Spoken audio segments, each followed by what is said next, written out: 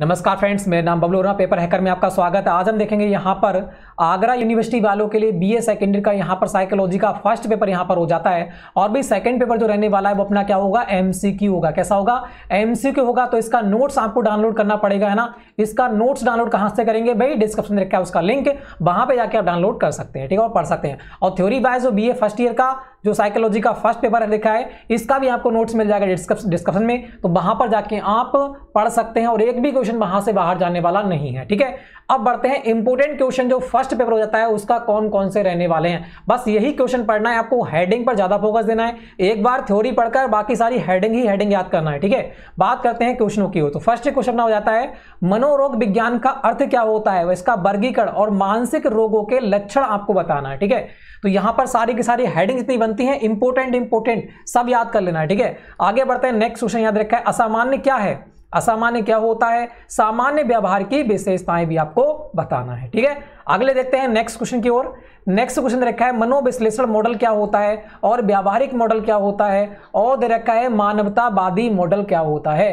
तीनों मॉडल के बारे में अच्छे प्रकार से पढ़ लेना है। बात करते हैं नेक्स्ट प्रतिबल क्या होता है? इसके प्रकार बताना है। और मनोशारीरिक वर्गीकरण का अर्थ बताना है, इसके प्रकार और कारण आपको बताना है, ठीक है? तो इंपोर्टेंट क्वेश्चन है। आगे देखते हैं नेक्स्ट क्वेश्चन यहाँ देखा है प्रतिगमन प्रयुक्त, प्रतिगमन हो जाता है और व्युतिकरण प्रक्षेपण और प्रतिक्रिया निर्माण किसे कहते हैं, इसके बारे में ध्यान से देख लेना है। बात करते हैं आगे की ओर। मनोग्रस्तता क्या होती है? बाध्यता का अर्थ।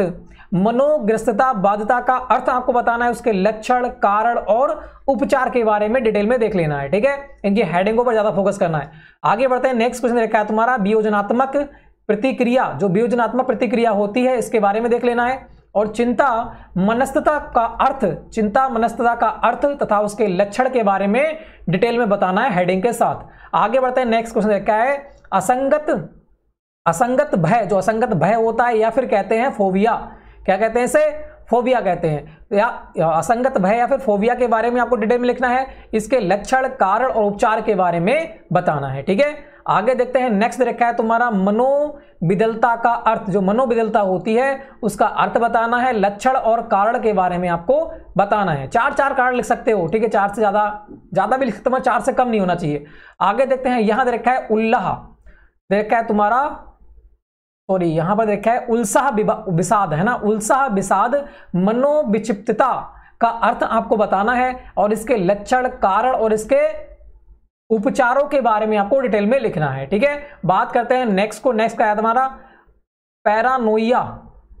पैरानोइया क्या होता है है ना? पैरानोइया जो क्या होता है, इसके बारे में डिटेल में लिखना है और इसके कारण और उपचारों के बारे में आपको बताना है, ठीक है?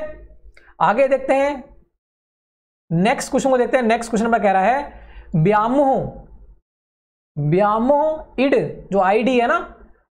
इड और अपना दे रखा है तुम्हारा ईगो, है ना? मतलब अहो दे रखा है तुम्हारा कि विशेषताओं के बारे में बताना है। मतलब आपको व्यामोह और आईडी और आपको ईगो के बारे में बताना है, इसकी विशेषताओं के बारे में भी आपको लिखना है, ठीक है? नेक्स्ट बढ़ते हैं। नेक्स्ट कह रहा है तुम्हारा बहुव्यक्तित्व और स्मृति लोप, विषाद के लक्षण भी आपको यहाँ पर देना है। जो वो जो हो जाता है, बहु व्यक्तित्व हो जाता है और अपने स्मृति लोप और विषाद के लक्षण भी आपको ध्यान से देना है, ठीक है? आगे देखते हैं, यहाँ रखा है समाज विरोधी व्यक्तित्व जो होता है और अपना हो जाता है अवस्तु बोधन। इसके बारे में भी आपको डिटेल बताया तो इतने क्वेश्चन आपके हो जाते हैं, ठीक है? थोड़े से क्वेश्चन है, दस से पंद्रह क्वेश्चन। इनकी ही आपको क्या है? थ्योरी एक बार पढ़ लीजिएगा, उसके बाद हेडिंगों पर ज़्यादा फोकस देना है। हेडिंग याद होना चाहिए, जितनी हेडिंग डाल लोगे उतने ही नंबर ज़्यादा आपके मिल जाएँगे, ठीक है?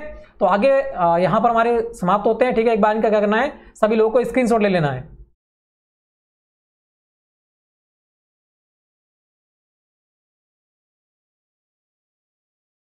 बिल्कुल तो हमारे यहाँ पर सारे के सारे खत्म हो जाते हैं, आपने स्क्रीनशॉट ले लिया होगा।